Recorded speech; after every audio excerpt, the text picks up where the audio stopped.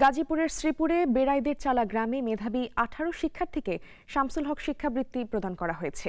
দুপুরে স্থানীয় শতদল শিশু একাডেমি প্রাঙ্গণে এ বৃত্তি প্রদান অনুষ্ঠান করা হয়। প্রধান অতিথি ছিলেন সাবেক অতিরিক্ত সচিব মাহমুদ হাসান। সভাপতিত্ব করেন ডাক, টেলিযোগাযোগ ও তথ্য প্রযুক্তি মন্ত্রণালয়ের উপপরিচালক ডক্টর সেলিম শেখ।